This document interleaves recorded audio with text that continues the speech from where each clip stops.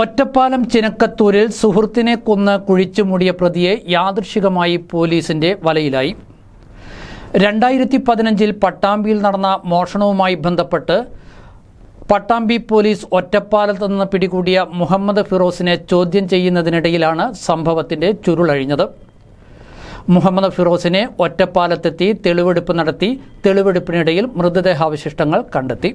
രണ്ടായിരത്തി പതിനഞ്ചിൽ പട്ടാമ്പിയിലെ വ്യാപാര സ്ഥാപനത്തിൽ ഉണ്ടായ മോഷണവുമായി ബന്ധപ്പെട്ടാണ് പ്രതിയായ മുഹമ്മദ് ഫിറോസിനെ പട്ടാമ്പി പോലീസ് ഒറ്റപ്പാലത്ത് നിന്നും പിടികൂടിയത്. തുടർന്ന് ചൊവ്വാഴ്ച നടത്തിയ ചോദ്യം ചെയ്യലിലാണ് ഇരുപത്തിനാല് വയസ്സുള്ള ആഷിഖിനെ കൊലപ്പെടുത്തിയ കാര്യം സുഹൃത്ത് മുഹമ്മദ് ഫിറോസ് വെളിപ്പെടുത്തിയത്. പ്രതിയുടെ മൊഴിയുടെ അടിസ്ഥാനത്തിൽ നടത്തിയ പരിശോധനയിൽ ഒറ്റപ്പാലം ചിനക്കത്തൂരിൽ കുഴിച്ചുമൂടിയ നിലയിൽ മൃതദേഹാവശിഷ്ടം കണ്ടെത്തി. ഡിസംബർ പതിനേഴിനാണ് സംഭവം.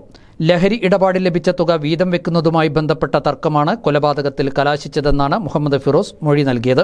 കുത്തിവീഴ്ത്തിയ ആഷിഖിനെ ആളൊഴിഞ്ഞ പറമ്പിൽ എത്തിച്ച് കുഴിച്ചിടുകയായിരുന്നു എന്നാണ് മൊഴി.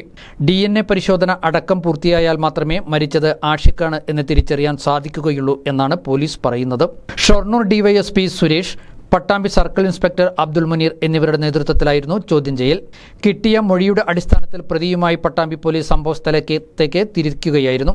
കൊല്ലപ്പെട്ടെന്ന് സംശയിക്കുന്ന ആഷിഖ് നിരവധി കേസുകളിൽ പ്രതിയാണ്.